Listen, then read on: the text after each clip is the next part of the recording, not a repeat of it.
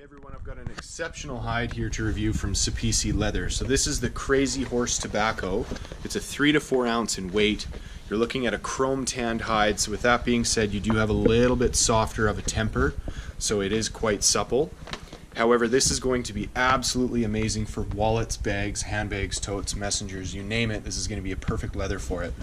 So you do have color variation from lighter to darker tones very very nice almost distressed look. You can see some grain lines and fat creases throughout as well. Definitely adds character to your projects. And on the top side it is a touch waxy.